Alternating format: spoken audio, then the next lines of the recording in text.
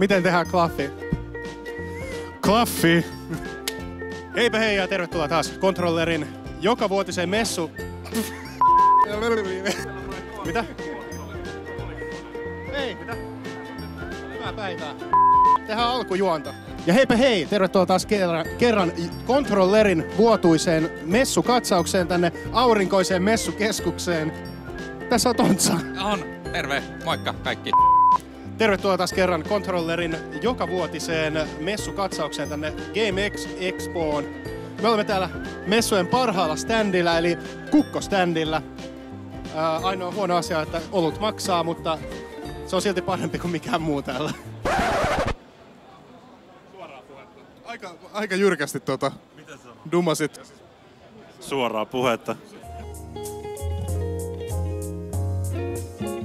Vuosikymmenen viimeiset Game Expo-messut ovat käynnissä Helsingin messukeskuksessa ja uuden ajan koettaessa olemme tutustumassa jäähyväistunnelmissa tämän vuosituhannen viimeiseen messukeskustarjontaan, koska tämä on vuosikymmenistä alusta. Vuosituhannen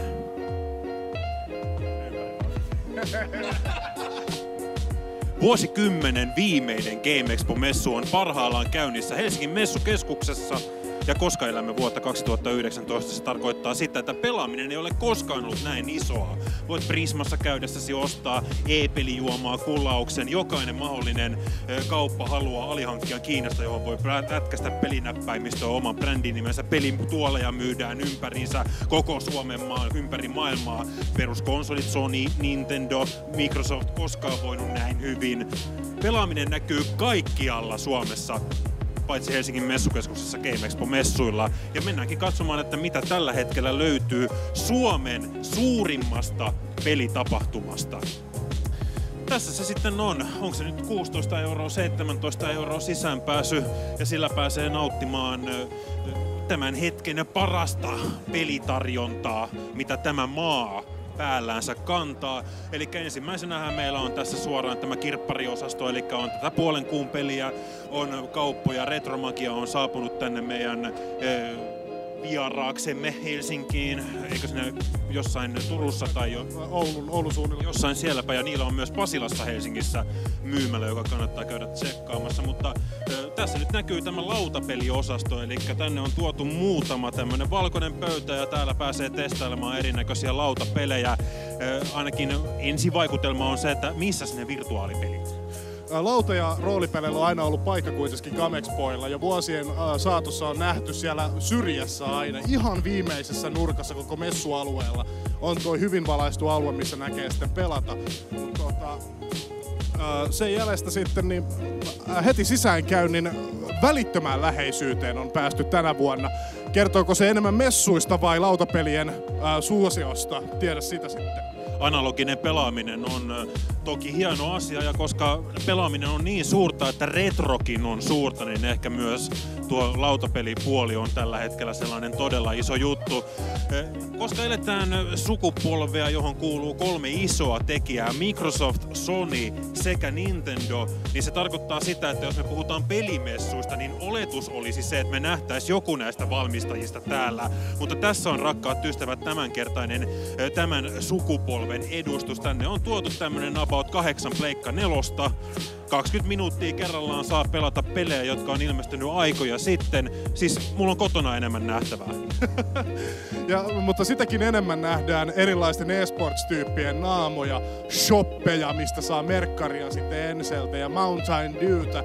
Et enemmänkin on näitä oheis- ja sivutuotteita sitten jaksettu roudata tänne. Nyt täytyy muistaa tässä, että me ollaan kasvettu ehkä tänne nykyisen peli huuman yli tai ohitse, miten sen voisi sanoa. Sillä nykyään tuntuu, että nuoriso enemmän on keskittynyt tuonne tube-puolelle, e-sports-puolelle, striimaaminen on iso juttu. Ne on jostain syystä asioita, mihin me kolmikymppiset varhaisboomerit ollaan ö, täysin etännytty jo tässä vaiheessa ja me ei tiedetä yhtään, että miten tästä edetä. Sillä tämä kaikki on jotenkin täysin toinen maailmassa, mihin me ollaan totuttu näkemään viimeiset kymmenen vuotta täällä Helsingin messukeskuksessa näillä pelimessuilla. Täällä ei ole enää isoja valmistajia, täällä ei ole enää uusia pelejä. Ubisoft on sentään tullut tänne mukaan tänä vuonna muutamalla parilla, oliko jopa neljä peliä tai jotain tällaista, mitä siellä on Just Dancea, siellä on Trialsia öö, ja joku tasoloikkapeli ja aika lailla siinä se sitten onkin ja uusi Ghost Recon. Niin onko tässä nyt se uusi tarjonta, mitä on tarjottavana Helsingissä messukeskuudella Suomen suurin pelin tapahtuma? Mutta se, se, äh, ehkä sä oot oikeassa siinä, että me ollaan vaan aikojemme orjia. Ja paljon henkilökeskeisempää on tämä pelaaminen sitten tätä nykyään. Että se, äh, ihmisillä tässä tehdään, varsinkin kun huomataan striimilavojen määrästä. Tuossa sisääntulossa oli vasemmalla heti yksi, ja tässä on joku NRI, NRI-nurkkaus ja Stream Corner. Ja tuossa on Elisa Vihte ja Legioni Habu Gamingit. Ja sen takana on vielä yksi, paik- y- yksi lava striimaaminen on ottanut selkeästi se isomman jalansijan tänä vuonna Game Expo-messuilla. Ja kuten jo Konstakin tuossa äsken mainitsi, niin se henkilökultti tuntuu olevan yksi isoimpia juttuja täällä. Sillä täällä on näitä tubettajia jokaisella lavalla esillä, kun on puhuttu näistä äh, Ice Bucket Challengeista, kanelihaasteista, äh, viiden tonnin haasteista, neljän tonnin haasteista, niin täälläkin pystyy myös ottamaan NHL-haasteen näiden tubettajien kanssa. Äh, kuka kestää pisimpään, en tiedä. Mutta niin, tämä on nykyään se, mikä nyt on tarjontana täällä pelimessuilla. Paljon eri tavaramerkkejä on kyllä esillä. Logoja näkee joka puolella, mutta pelattavaa on loppujen lopuksi hyvin vähän. Kuten näkyy, me ollaan tultu jo tämän eh, pelialueen rajalle, eli tästä alkaa jo seuraavaksi tämä eh, aktiivinen puoli täällä messu, eli Go Expo Wintermessut, eli nämä elävät ihmiset ovat vallanneet tämän toisen osaston täältä. Mutta tässähän tämä oikeastaan oli. Meillä on enää tuolla toi pelaajan osasto käymättä läpi ja sitten tämä on tässä. Koko homma. Eli Game Exposta on tullut jostain syystä eh, tällainen enemmänkin katselutapahtuma. Täällä on ihmisiä kokoontunut isojen lavojen ympärille katsomaan sitä, kun ihmiset pelaavat. Striimikulttuuri elää täällä juurikin semmoisena, mitä me ollaan nähty sitä netissä olevan jo vuosikausia. Ehkä tämä Game Expo on omalta tavaltaan osoitus siitä, että kuinka aika on ajanut meidän ohitsemme ja meidän on aika muuttua aikojen mukana ja tulla katsomaan, kun muut pelaavat, sotkeutuvat johtoihin, jos Markus kääntää kameransa tässä kohtaa ympäri, sillä täältä kun mennään K16-alueelle, niin täältä vasta löytyy sitten nämä pelit, mitä taas sitten alle 16-vuotiaat pelaavat, eli Bubkit, CS, kaikki muut löytyvät täältä osastolta, missä on enemmän ö, tietokoneita kuin yleisöä. Anteeksi, anteeksi, anteeksi, anteeksi, anteeksi, anteeksi. Leikkaa toi pois. KO! Mä en kyllä tiedä, että miksi noin pieni lapsi edes on K16-alueella. Tilanne on nyt se, että on kuitenkin välivuosi messutarjonnassa tällä kertaa.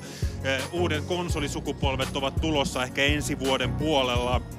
Varmasti lisätietoa tullaan niistä vähintäänkin saamaan ensi vuonna.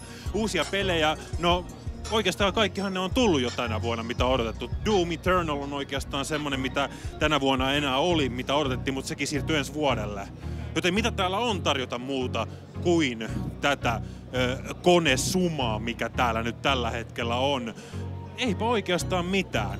Nintendo voisi olla täällä esittelemässä Switchiään, mutta Nintendo on tehnyt ratkaisunsa, että ne esittelee niitä mieluummin kirjamessuilla tai muualla. Nähdäänkö me Sony ja Microsoftia täällä ensi vuonna? Todennäköisesti, koska uudet konsolisukupolvet astuvat kuvaan. Mutta tällä hetkellä me saadaan myös nauttia retrokamppeista. Eli tämä nyt on kyllä mun mielestä se siistein juttu, mikä tänä vuonna Game Expo-messuilla on tarjolla. Vanhoja arcade-kabinetteja on täällä pelaajan tiskillä kasapäin Ainoa ongelma on se, että kun sä maksat sen 16 euroa sisään, niin sun pitää maksaa 50 senttiä per peli vielä näistä. Onneksi ollaan siinä tilanteessa, että ensi vuonna tilanne tulee olemaan todennäköisesti hyvin, hyvin toisenlainen. Onko Game Expo-messuilla muuta tulevaisuutta kuin tämä striimaamis, tubetus, nuorisosukupolvi? Siellä raha liikkuu tällä hetkellä, sen takia meillä on e-pelijuomia ympärillä. Prismoja, meillä on Prisma Gamingit, meillä on City Market Gamingit, meillä on joka mahdolliset e-sports-joukkueet, mihin vaan joku brändi saadaan lätkästyä kylkeen. Kaikkea tähän löytyy. Nuoriso on aina ollut se, mistä se raha liikkuu, koska nuoriso osaa myös piinata vanhempiaan hyvin, hyvin, hyvin piinallisesti, kiusallisesti, häiritsevästi, murskaavasti, kunnes sitä rahaa löytyy. Otaksa mulle IPAN? Joten ollaan siinä tilanteessa, että Game Expo-messut, tämä on toistaiseksi ylivoimaisesti huonoin Game Expo-messu, missä olen ollut. Tätä on järjestetty eri nimillä DigiExpo-messuina, JNE, JNE, kiitos aikaisempina vuosina. Ja tällä kertaa tämä nyt on ehkä tyngin, vähäpätöisin, säälittävin pelimessu, mitä me olemme toistaiseksi nähneet.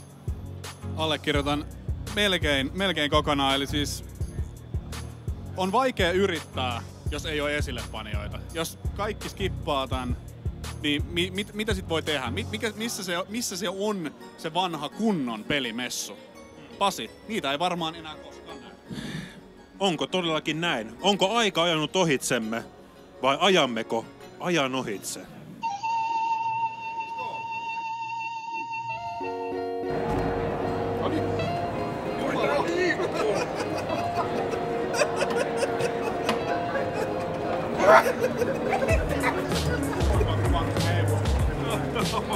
Katso toi ilme